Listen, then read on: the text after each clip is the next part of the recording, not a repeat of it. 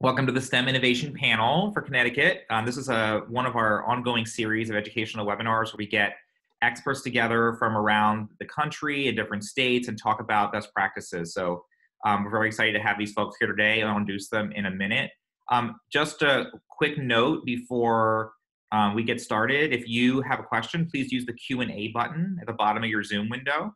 If you have um, some other kind of support technical issue, then please chat and Lindsay will be happy to help you out. Um, but that is really important. So the Q&A button is how we're going to answer all of our questions uh, from our moderate, from our um, participants, for our panelists. And uh, if I can answer a question, happy to do that as well. Um, also a note, your microphones will be muted throughout the webinar just to make sure we can hear all of our panelists really well. Um, and so let's let's kick it off.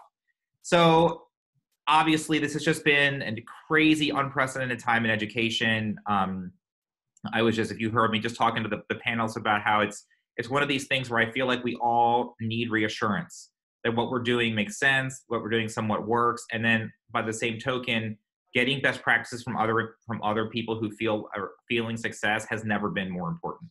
So i'm really excited and thankful to have all these these uh, wonderful panelists with us. I'm going to introduce them without any further ado um, okay, so let me start with pulling my list up. All right, let me start with Barb. So Barb Haeffner is here. She's the Director of Teaching and Innovation for Meriden Public Schools. Uh, she works with staff and students to infuse the use of devices and digital content, uh, K-12, and she has led the district transformation to student-centered learning environments. So um, Prior to joining Meriden, uh, Barb was also providing educational technology professional learning um, to educators throughout the state of Connecticut. And then also uh, from Meriden, we have Sue, and Sue um, was an early adopter of instructional technology, and she is the supervisor of blended learning. Um, she super she serves as curriculum supervisor of science and career and tech um, ed departments for K-12 and supports the student-centered learning initiative device uh, device one-to-one program. So in February 2020, Sue was also recognized as a Legends of Learning legendary leader, aka the integrator. Very important to have your superhero name at ready disposal. yes, mine's the chancellor. So I mean, you know, you, you, have to have these things. Karen, you're gonna have to come up with a superhero name, like maybe on the spot. Okay, and then we have Kate O'Donnell, who's from Wallingford. Uh, she is the Science and Tech Curriculum Coordinator. Um, 27 years in Wallingford. So Kate is a Wallingford expert. Uh, and she is an integral part of that Wallington Wallingford STEM Town initiative um, and the development for the Center for Innovation and Design, where she does an aerospace experience to Mars. Sounds incredible. Uh, and finally, we have Karen Lorde here from New Haven. Last but not least, uh, Karen is an amazing instructional coach for math um, at the Roberto Clemente Leadership Academy, and she's been there since 2012. So she is a great advocate for urban students. Um, she advocates for different differentiated lessons and small group instruction, um, obviously knows how critical those are, and that we just cannot let our students fail, except when it comes to taking safe kinds of risk. Um, so I want to kick it off um, with a question for the group. I want to really just, I'm going to open it up um, before we get into specific questions and ask you guys, what man, what is it like out there? You know, what is it like having gone from totally in-person school on March 14th I think I speak for all of us here, to going to March 16th and having basically the entire state get totally told everyone's going home and you know how to adjust to a new normal. So if we could start with uh, Barb and Sue from Meriden, could you guys tell us about either one of you guys? What has that? Just tell us what has that been like for you guys? Sure, I'll jump in first, and Sue can add. So um, it's been interesting to say the least, but there's been a lot of new learning for all of us um, here at central office, as well as with teachers and students and families in the district. Uh, we are running what seems like two school districts. We have an in-person uh, school district where we have students coming every day, K through eight, and our high schools are on a hybrid model. Um, and then we also have families that have selected distance learning and obviously those families are home every day learning online. So it's been a bit of a learning curve, um, but I, am happy to say that our teachers, students, and families have really stepped up and adjusted to this new normal. Um, and we really try to be flexible, listen to feedback from everyone, and make changes how uh, we think is appropriate to best meet the needs of everyone. Yeah, I agree. And I think that after being out in the spring, um, you know, after being out so abruptly and then being out through the end of the school year, our teachers and our students and our parents were really ready to get back to in-person learning. So we're we're very lucky that we have a strong partnership with our health department and have been able to get systems in place to allow us to offer that as an option for our families. So um, so far the cohort model is is holding strong and uh, we are we're happy to be in person but also offering a distance learning option for the parents who prefer that. Mm-hmm. and I, I know that's got to be a very challenging we'll get more into this later but very challenging to all of a sudden go to offering more than one model of education. Right? It's like running uh, two districts. Yeah. That's a really good analogy right. All of a sudden you work for meriden v1 and meriden v2 yeah. Yeah. Hey what about you over in wallingford so our, our model is slightly different. Um, we have in-person learning K-5 and then 6-12, we are a hybrid model um, where students come in in the morning and then the cohort B is online in the afternoon and we switch every two days. Um, in, in the spring, the turnaround was unbelievable. It was so impressive the way that teachers and parents and students just owned it. I mean, we had very little time to completely flip our learning model. Like we we weren't even one to one K-12. We but you know we, we made it happen um, district wide, and and it really really goes to show you how important flexibility is. Um, and it was really impressive. And then we have the summer to prepare for what we didn't know was coming. So yeah. it really was a gift of time to be able to then kind of backfill those skills that we saw were needed when we went out in the spring to be able to prepare for coming back in the fall. So it really was great for us to have the summer to figure out what the best model was going to be, what resources do we need, and start to develop some of those resources. And the experience for parents and students in the fall is so much better than it was in the spring. Mm-hmm. You know, mm-hmm. as hard as everybody was working in the spring, I think we really are knocking it out of the park this fall. That's fantastic to hear. I think that yeah, we, I've heard that a lot. In my own kids, I think my experience experience has been that you know the kids there there is an actual structure now. There is an expectation, whereas before it was like I don't know what Tuesday means, I don't know what the weekend means anymore. But now it's like that your school day is seven to three or nine to three, whether you're at home or you're in school. Is that kind of how you guys have set things up too, or virtual has that day like that hour by hour structure for kids? Yes, yeah. in Meriden, I would say that's the model we're following. Okay. Yeah, we have different schedules, whether you're a VDL student or an in-person learning student, but there are very specific times when you move from one subject or one class to the next, whichever model you, you have chosen to be under. Okay, so there's a lot of choice. That's really excellent. I think that's, it's, it's, it's great to see that virtual learning is providing a model. I think from what I'm seeing, even more choice than before um, which we know kids love and is also really important to parents when there's got to be so much flexibility with schedules and having kids learning independently. So, Karen, tell us a little bit about New Haven. What's going on there? So, currently, we are still virtual, um, and it's actually really uh, interesting, I should say. Um, when we went out in the spring, um, one of the things that it was like everyone said, it was so abrupt. Like we were like, oh, we thought maybe two weeks. And then it went mm. further and further. And I think it was um, shocking for the teachers and for the students because, you know, being in New Haven, it's like um, we try to make school like a home. So, you know, it's like a mm. schedule the kids you know that your kids are coming to school. You know you're going to provide them breakfast. You provide them lunch. Now when this new this happened the pandemic happened it's like now you started wondering about just the simplest things. Did our kids eat? You know even though you can come to the school and pick up food but like are they okay are they um, what's going on with them do they have uh, internet how's their wi-fi connection just all these things that you just started wondering um, about that you don't really i would have to say that we took for granted because they were in our buildings.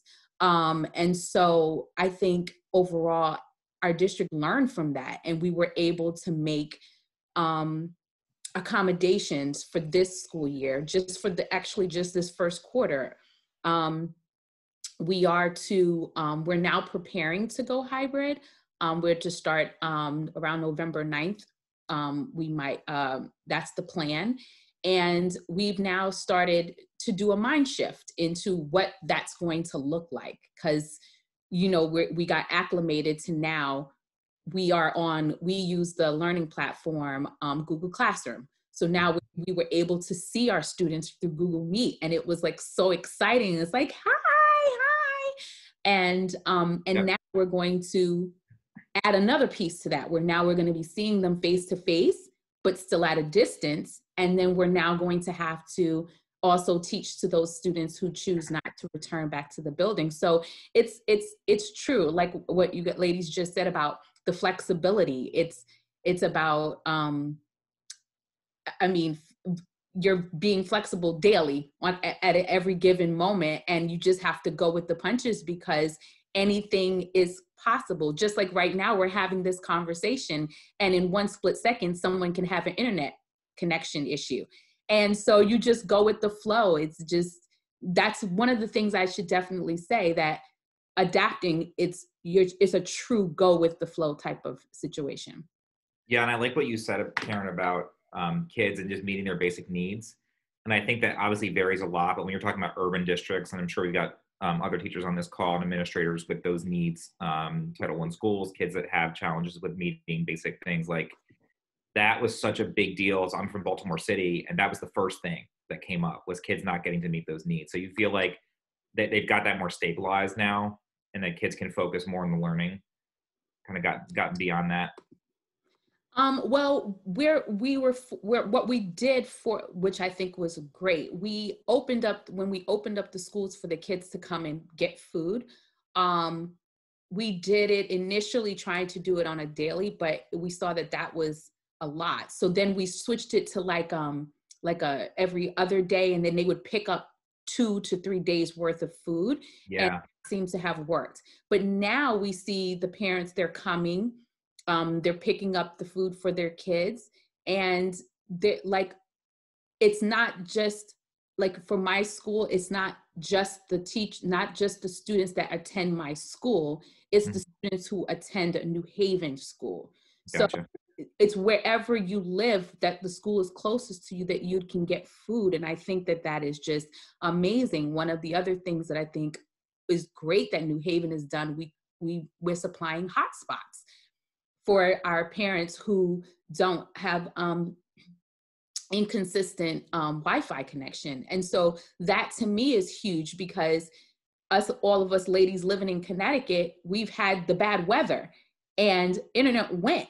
And it was like ah what are you supposed to do? And then you just realize how just the simplest thing can just like change up what you planned for the day. And now everything now had to now turn to be asynchronous instead of it being synchronously done.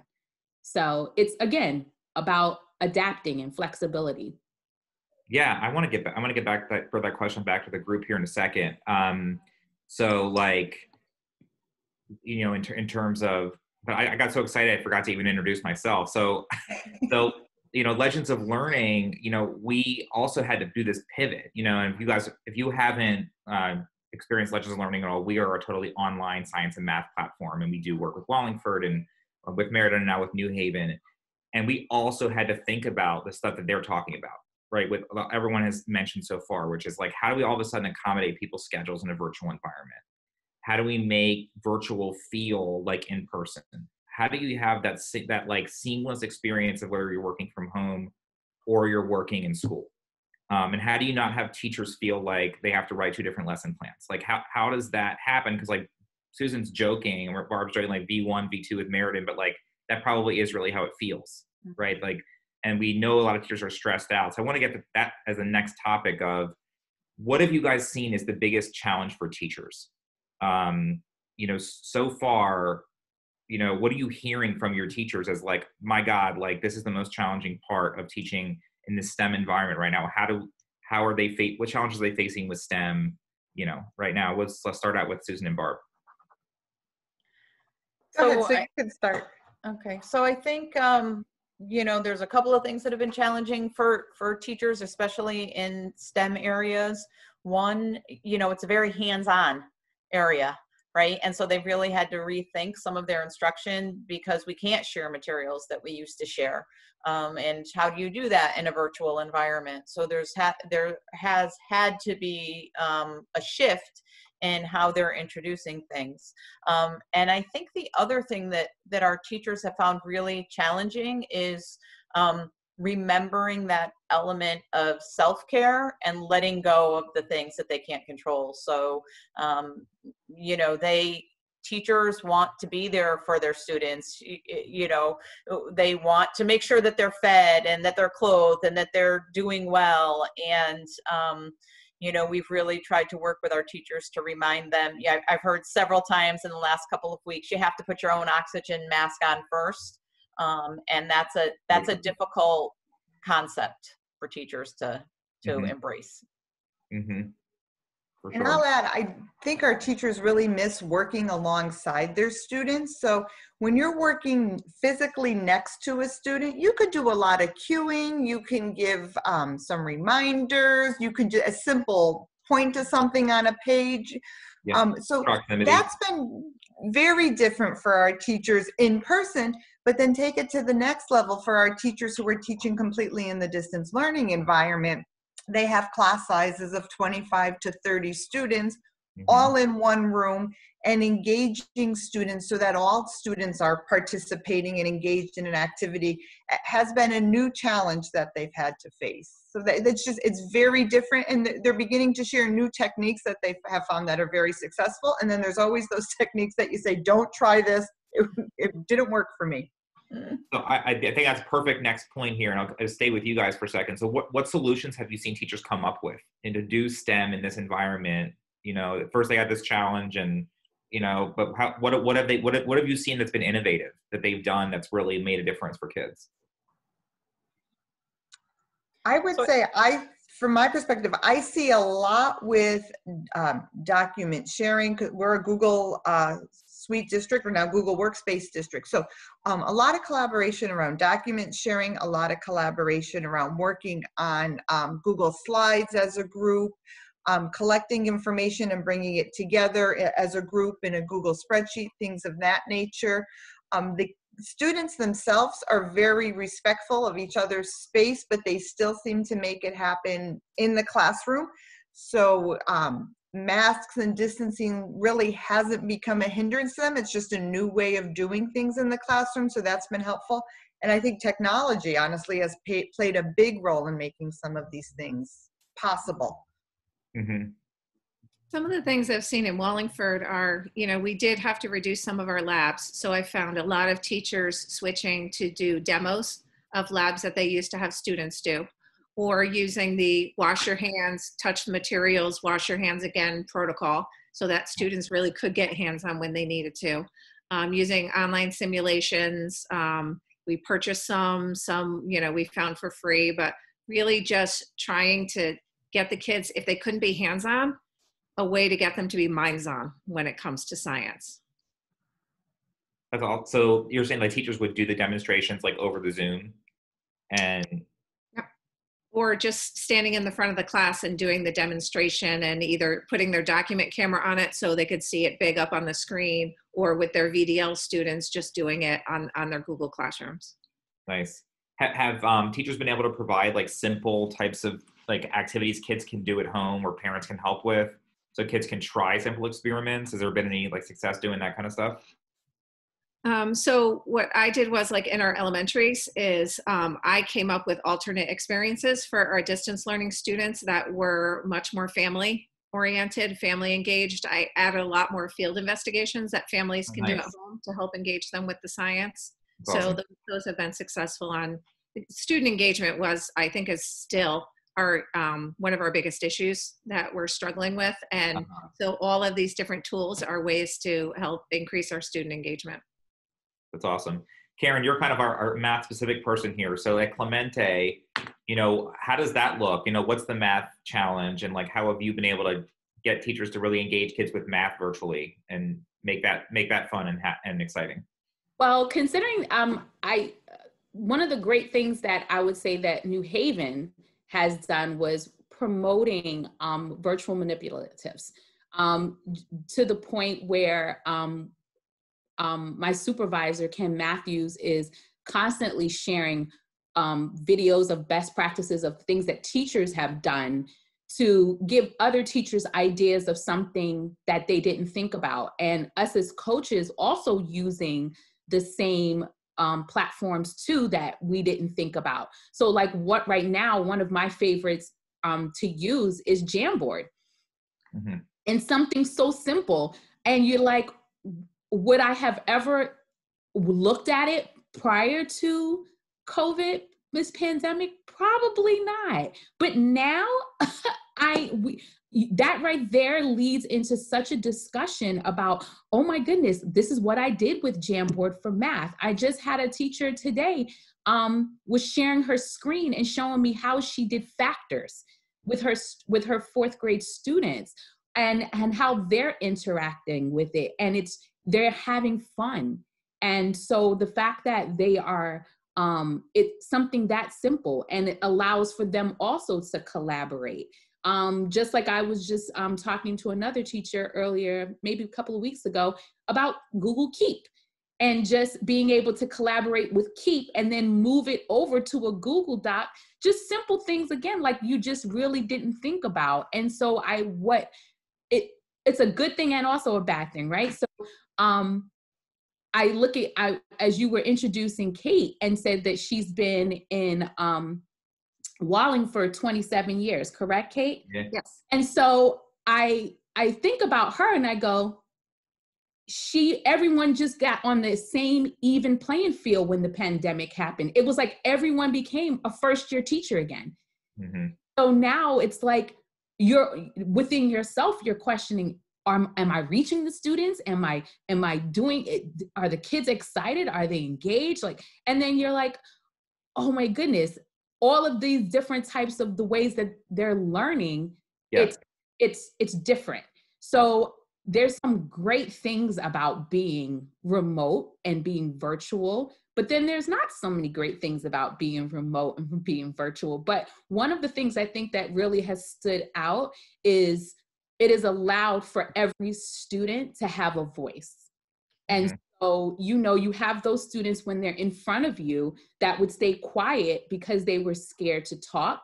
But now virtually allows them to be able to type in something in chat, or teachers are using Pear Deck to get um, physical um, responses at the moment that they're teaching um, about how a student is feeling and how they can get answers correct. And um, when teachers are using these things to engage their students, they're taking that material and now they're able to create small groups through Google Meet breakout rooms. And you, all of these things that you probably would have never thought about prior. And so it's it's a lot to learn all at one time. Yeah. Very overwhelming, but it's a great thing for us as teachers and i also think it's a great thing for the students because now we're able to to hit all the different levels in which they learn. So, yeah, I, I like that you brought up Jamboard and Google Keep and Pear Deck.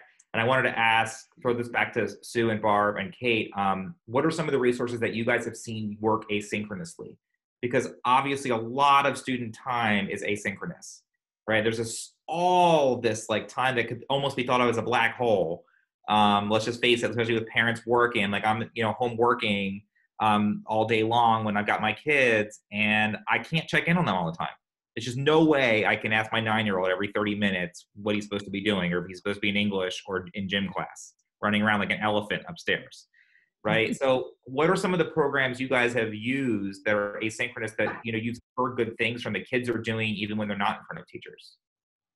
Sue, oh, how about Sue and Barb? You first.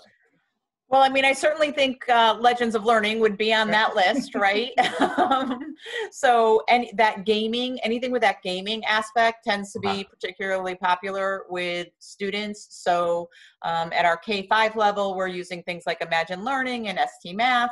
Um, and uh, in middle school, uh, Legends of Learning has been a real uh, support in our science department.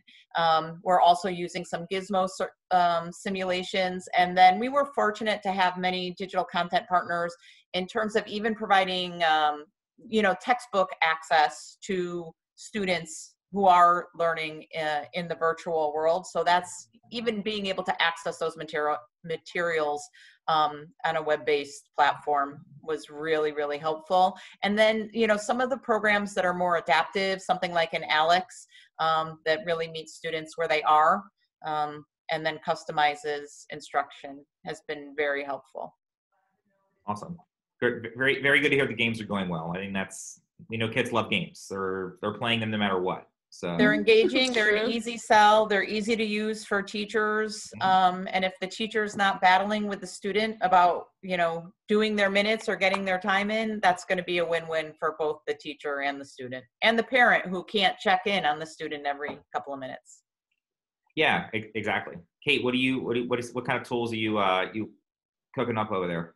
There have been like so so many tools that we've tried and used and you know each one has its own purpose one of the um, things that we purchased district wide were wacom tablets so that when teachers are doing math and science that they can be writing you know an equation that you can't really do with a touchpad um, so that it really helped with instruction for students um, Cami has been super helpful. I think a lot of the things like Google Read&Write we were using as adaptive technology tools, but in this environment, they've become tools for everyone. So in that way, we sort of leveled the playing field with students because these tools that were just specific to a certain group of students are now helpful for all students, whatever their, their environment is. We've used Gizmos, Kesler Science, Legends has been has been great for us. Um, we use Discovery Education, and those tools are great because we can track what students are doing. Right. Students have accountability. We can get feedback. So those are the best tools. Is the ones where where you can get that feedback for students. Mhm. Awesome. Um, and kind of on that same point here, um, you know, like, so you guys have mentioned all these tool kind of strategies. Okay, so now think about how far we've come. Uh, let's just be honest for a second with everyone who's here. What has not worked and what are you going to keep? What's the stuff that you're like, forget it. I am not doing that again because that was a failure. And here's the stuff that I am going to keep doing because no matter whether we're virtual or we're in person, this is going to work in either environment. So how about we start with Karen? So I'm think I, I'm thinking about that question, and um, I would say that one of the great things I think that New Haven has done was provided um, a plethora of different resources for the teachers to use. And while it is very overwhelming when you look at all of what has been provided to you, I think that um, if you were to take what works for your students that you're teaching, I think then that would um it, it works. So I know like for in my particular building, we right now have been um I had to write it down, so that's why I'm looking down. I'm sorry, because we have a lot. So like we use the Cami extension. Um, we use Jamboard, like I stated. We use Pear Deck, and so um, if li- really quickly, if I mention Pear Deck, while that is great for say a fifth grade and up, it may not be so great for say a kindergarten student, right? Uh-huh. So Jamboard can be can work for the kindergarten student because they can write on their screen and play around with it. So um, I think if when what I try to do, like even when I'm when I'm trying to promote, say Jamboard or even Legends of Learning, showing um, the teachers how they can use it with the different um, technology that the students have because in our school our k through two some second graders have ipads some of the second graders depending on um, if they kept their um, devices from last year have chromebooks. And so now you have to cons- worry about what type of chromebook they have Yeah. and how many things they have open and so forth. So um, i think like I said, it all it just all depends on what you're using that which that you think would work for your students. And teachers know their students the best and so with that you can then determine what works and what doesn't work. Um, but I, I right thus far we've gotten a, a chance to to test out legends of learning and the kids like playing games they do. And we also have an opportunity to try freckle. And i know for me when as being a math coach i'm always trying to find things that our students in the k through 8 because that's the building that i that um, i service can use right. um, and that could work for all the different grades because if for example we start teaching the kids from kindergarten how to use legends of learning and we stay with legends of learning by the time they reach third and fourth grade it becomes second second nature they know how to use it they've become familiar with it and so yeah. then they can really start to hone in on their independent the independent being independent yeah. and that's that's the goal right and so um but we use a lot we use gizmos we use desmos we um some schools use reflex some schools use dreambox i think it we try to make it um, a little bit more um, catered to the building and what your building needs. Um, My building, I chose Freckle because, um, and we chose Legends of Learning too, but um, because we've tried different things. And like for my building, IXL doesn't work because the teachers need to be able to assign what it is without the kids being able to see other things because they get distracted. Right. So one of the benefits is that you can create your own playlist like Legends of Learning allows you to do. Right. allows you to create your own playlist in a sense too. So that what that's one of the things that I think has been really great is that we can create your own playlist so you can be more about individualized learning for our I like what yeah, I like what you're saying about the individualized instruction and teacher choice. Kate, what do you what do you think? Any any like cautionary tales and then stories of success kind of what what hasn't worked and well in in the spring, you know, yeah. we launched very very quickly. Um, using what we had, and then we had to make some major shifts over the summer. One of the mm-hmm. big changes we made because we were a Google Classroom district, grades three through 12, um, and so we just expanded it in the spring. Okay, now we're Google Classroom K 12. And right. our, our K2 families really struggled with using Google Classroom. Our K2 students hadn't really logged in. Like they, we didn't have them use any of the Google apps. So it really was a very difficult transition. But mm-hmm. we had had quite a few teachers using Seesaw individually in their classrooms. So we made the decision as a district that in K2, we were going to use Seesaw for those students because it's much more parent accessible. Mm-hmm. It's mm-hmm. much easier for students to post videos and writing and drawing and content. And so that was one of the lessons that we learned was that Google Classroom wasn't the best tool for every single age of student. Another thing that we we do is we always have um like science journals and writing journals and and math pages and we sent a lot of that stuff home. And it, and in the spring you know kids didn't know how to take a picture and share something. They didn't know how to post something. So we really had to make that adjustment over the summer and do a lot of professional development with our teachers to learn how to create things digitally. Yeah. so they weren't forcing kids into doing something that they couldn't be successful with. So we really had to meet the families where they were. Um, you know we have a great range of families with their technology their technology understanding. We had to do the same with providing hotspots for people who just they didn't have internet at home. It just wasn't they might have had a phone but they they didn't really have internet at home. And um yeah. But I, I think we've we've really grown a lot since where we were in the spring and you know we continue to learn. Like there are things we want to change we change every trimester. We're like oh that didn't work let's try this. And mm-hmm. it's constantly like a cycle of being flexible learning and revision which is which is really at the heart of what education is. It's just to a degree that we've never done it before.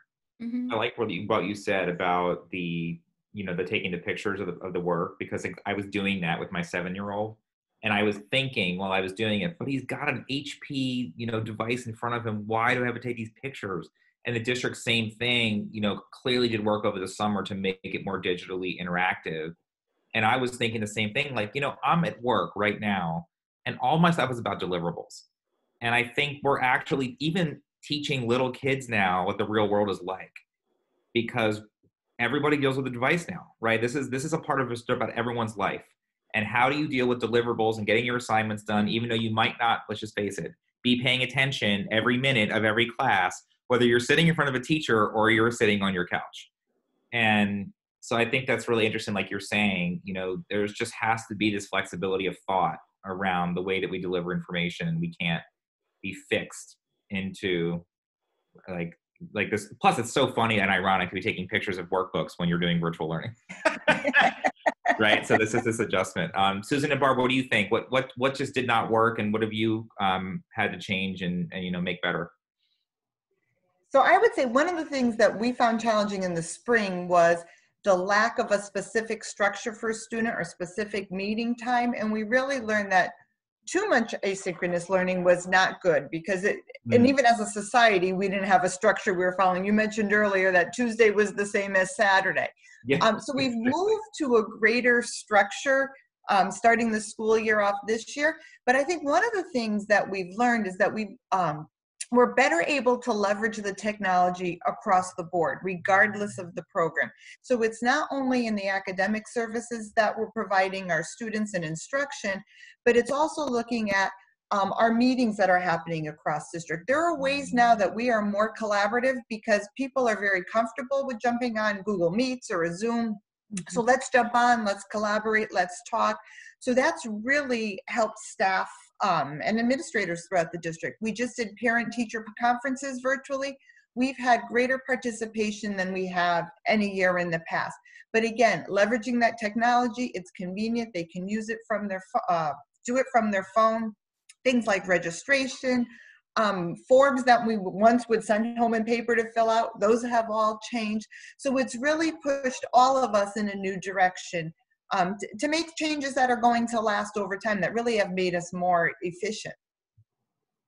That's great.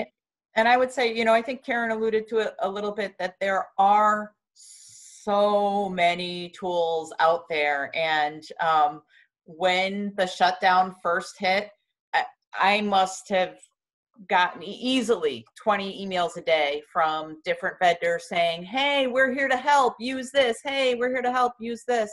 And so I think we really needed to, to work with our teachers to say, um, it's not about how many tools you're using, it's about using those select tools really well. Um, yeah to help you improve student learning. You don't, you know, let's not throw everything against the wall and see what sticks. Let's, you know, pick the things that are going to work best for you and your students and and focus on those. Um, and and i also think that um, you know we found that there are some students and teachers who have really thrived in this online environment. And so i think that that's one of the those uh, lasting effects things that will hopefully keep with us to um, provide avenues for the the students who did well um, in an online environment to be able to continue learning that way, uh, even once all of this, you know, COVID restrictions go away. That's kind of something I wanted to expand on too. Is is that idea of like if we're thinking about like so blended learning is going nowhere, right? That was the first thing that occurred to me not just as some as a you know as a co-founder of legends but as a former teacher like we've changed education forever it mm-hmm. doesn't matter if we have if we had a vaccine tomorrow everyone's like virtually everyone's got one-to-one technology or one to two or going in that direction. And with blended learning virtual learning is here to stay on some level. So my question to you we'll just keep it with you and uh, sue and barb here for a second. What are how do you see science and math being taught differently now going forward? So you think about the 2020 the 21 22 school year even. You know what are some best practices that are going to stay regardless of your kids come back that are more blended in nature that you can see being really effective for kids? Well, I think one of the things is that because both our teachers and our students are so much more comfortable with using the technology, it's really opened up access to, um, you know, places and people that they would never have had access to just sitting in their classroom, right? I mean, they can talk to astronauts, they can, you know, go under the ocean. They, they, there's just all sorts of scientific exploration um, and real world math applications that can be studied and shared through a virtual environment. Um, you know, and then you take that a step for, forward with some of the simulations that are available and even some of the gaming platforms are available.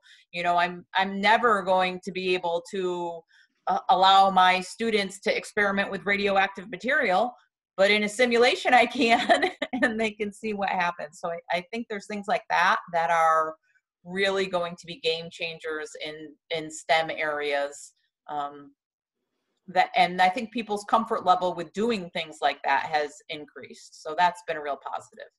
That's a really interesting think, idea like playing with chernobyl right? Or like in that scene right? Nuclear explosion and right having all the interesting experience but not the not the actual physical impact. Right. Yeah barb sorry go ahead. No, sorry. And I think our teachers have become more educated about what they want from a product now. Um, it's no longer just the bells and whistles and what's flashy, but they now are using products over a period of time to really support their instruction. So they've been uh, become better consumers of digital content.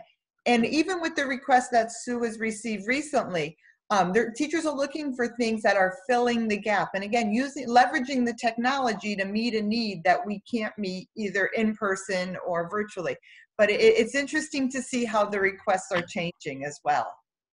I can totally see that, and I think that we're also having that experience of teachers are teachers are better consumers and users of the technology because they see it as a like you said a sustained tool, not just like a throwaway.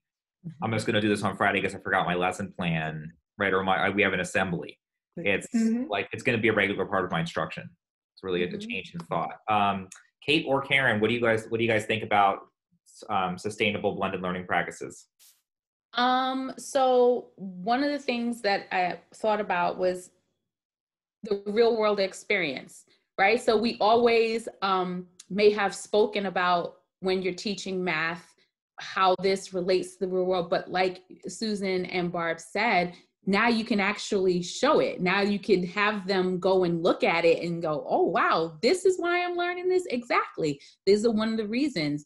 Um, I think it also allows for a little bit more um, student collaboration. Um, one of the funniest things that I saw the other day in a class was um, the teacher was um, showing the students how to do something in particular. And one of the students was like, Sir, all you have to do is do this. and they showed them how to do and and that we would have never gotten the opportunity to see that if we weren't in the environment that we're in. So I I'm so excited to see and mm-hmm. forward how much the kids are going to still be engaged. They're going to still have choice there, um, we're able to do so many things cross curriculum um, that you didn't realize how so many things um, were related. You know, we always say that math and science are sisters, but now you get to really see how math and science are sisters and how language arts and social studies are cousins to yeah how everything ties in. We're all related. And so that to me is one of the biggest i think takeaways is that now more and more than ever everyone can't be in their little bubble anymore of yeah. i teach math i teach science i teach you know now we have to pretty much essentially be like an elementary teach elementary school teacher. We have to be able to adjust and bring everything back to what it is that we want our students to learn chunk what you instead of it being the big picture you know the less is more type of mentality where less was less is actually now more because it requires you to do so much planning that you want them to truly grasp what it is that you're teaching. So now you can pull these different resources to mm-hmm. put emphasis on it. And so i would great point i would say that to me like that's a key point I like the virtual the virtual field trips, the idea of students showing teachers. Kate, are you you uh, what do you think about all this stuff? I mean, you really at the virtual mission to Mars, and you know, like how are, what do you see as the sustainable stuff going on in Wallingford? Give your your last word here before we open for Q and A to the to the audience. Well, everything that everyone else has said, but in addition, one of the big shifts that I saw from the spring even to the fall was the level of engagement of families in the education. It's become so much more transparent to them. They don't have to ask their child what happened at school today because everything is accessible and visible to them. They really became true partners across the board in what what their children were learning and those increased communication pathways and that change of role is something i really hope that we can hold on to post covid because i think it can have really powerful impact on on student learning mm-hmm. yeah I, I i agree it's um so student driven learning is something that we've been talking about for years uh, I know that when we do trainings, demonstrations for teachers before COVID, it was more ethereal. Like people would be like, yeah, that sounds great. Student driven learning. I'd love to see that. And now we have been kind of like hardcore, like like one to one, like you know, hardware. We we have no choice. It is student driven learning, and if the kids aren't doing it, they're not learning. So it's really fascinating to me how we have created this, and I love this idea of like these STEM field trips that you guys are talking about, or like you know, Barb and sister like, we're gonna go deal with radioactive chemicals in an online lab, and you know, we're gonna have experiences like you can go to Paris on Google Maps, right? Like you can do these things. You could design a new Eiffel Tower, right, Karen? Or you could design a Coliseum using your math skill sets. So I think there's just like a world of possibilities, and our teachers now have skill sets with with technology because they had no choice. Let's face it, some of them, right? And we brought some of those people along, and now they're ready um, to do those things in a way they weren't. So that's been very exciting. Um, we're going to open it up for questions now, Lindsay. Um, if, it, if you have some, if you want to open it up for Q and A, and uh, see what we got from our from our uh, our audience here. Awesome. So if anyone would like to ask a question, please use the question and answer button at the bottom of your screen.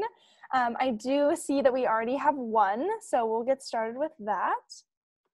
Um, and it is how do you ensure science learning continues in K 5, which can be hard to do even in the best of times?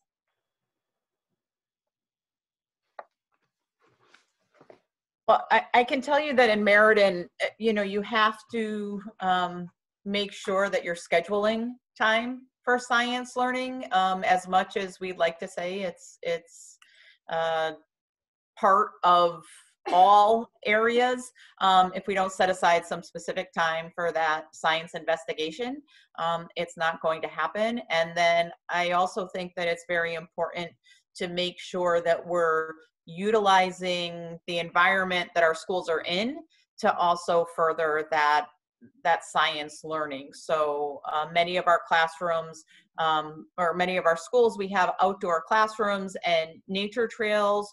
Um, but even if you don't have a formal nature trail or outdoor classroom, you know, weather permitting, get the kids outside and explore the world around you and help them make those connections to science and how it impacts their daily lives.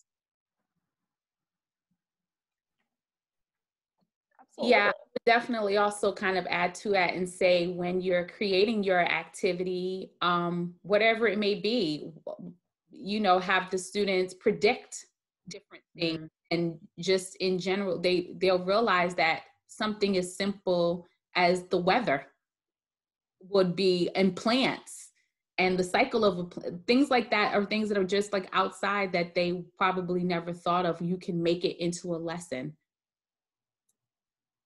And I think in addition to just having the time, it's also pushing into other subjects by having more interdisciplinary instruction when it comes to science you know in your in your reading and writing units to have science as the content for your nonfiction reading is a way to push in when you're doing math say analyzing data of using what you've done in science to analyze the data about it so it doesn't just become a discrete subject that you do from x minutes to x minutes but it, it sort of embeds itself within the other content areas.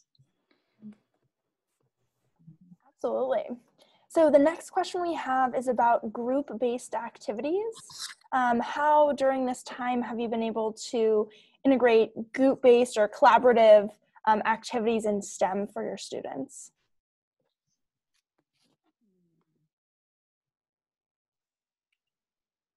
I think for us in Wallingford, one of the things that's really helped us is the launch of Google Breakout Rooms and for Google Enterprise has really helped us be able to have students in small groups. Um, but one of the things we use Legends of Learning for that too. So if I have students, you know, in a science lesson and I need to meet with a small group of students, which is much harder when you're when you're digital, um, that I can have those groups of students working on playlists that I've already set up in Legends and then meet with those small groups. So, you know, using tools like that have have really helped us have those group group activities. Um, and as I said before, like when we're doing hands-on activities, we have students partner. One's watching and keeping the data, the other's using the materials. We do wash, touch, wash. You know, those are ways that we've really still been able to have like our, our group labs in science is by defining the roles and using um, the cleaning protocols as well. We're designating a scientist of the day on a rotational basis. So today we're looking at this and, you know, Sue is going to come up and be our scientist of the day and be uh-huh. the person who touches the manipulatives and and does that type of thing and then the next day it's a different student and they you know that's great still the experience that way well we're still virtual so that's going to be something is uh, going to be interesting when we return back but i think what um like what i know um what our science teachers have really been doing again is showing them like letting them visually see things. I know one of the things that one of the teachers has done is done demonstrations in the science lab and show them what happens when this happens and so forth and they're able to write about it um, again using jamboard you can assign each frame to a group of students and they go to their frame and they collaboratively work together about the questions that are discussion questions that are being asked of them which it which works very differently than what it would happen if they were in the classroom right? The noise and they start to interrupt each other. But it's been very interesting as well as um, learning about the google meet breakout rooms so that they can start participating and doing those kind of things as well I'll, I'll, give a shout out to another resource too that we actually used it for enrichment purposes. Um, typically, we offer STEM camps over the summer, and we did not do in person camps this year. We did virtual camps, but through the National Inventors Hall of Fame Camp Invention, they actually ship a box of materials to each student's home. And then the teachers during the virtual week of camp um, had a morning session, helped the students unpack the boxes, talked about what the daily activity was. Students went out on their own, recorded observations using Jamboard, and then came back together at the end of the day um, to share their creations um, and provide feedback to one another. So that was a really great resource for providing some hands-on um, experimentation. Well, this this has been a, a fantastic panel. I want to thank you guys all for being here today. I think like your your your comments just at the end here, honestly, about like science needing to be interdisciplinary. I mean, it's it kind of that kind of just hit the nail on the head with the whole the whole STEM theme. I'm really hopeful um, as a former teacher and as working with educators all the time that all educators start to see education as more cross curricular, and that this is like the real opportunity is to you know is to say like there's no reason to silo science from math or language arts from social studies don't get me started about that and you know, because I used to teach social studies, you know, um, you like this with the language arts teachers, like, come on, get it in there, come on. Um, but it's it's really valuable, I think, um, to have your guys' perspectives on how do we do this going forward? How do we have blended learning work in the STEM environment? Um, and like, what are some of the ways? And I think you guys provided a lot of solutions for teachers, you know, ways to think about resources and implementation and how all that's going to work, whether we are fully vaccinated back in the classroom or we're doing some combination in the coming year. So thank you guys all for being here. Thank ever thank you to everybody who came and attended. Um, and we will follow up with you guys with some resources. And I hope you guys have a fabulous rest of your week. You too. Thank you. Thank you for having us. Thanks everybody. Thanks everyone.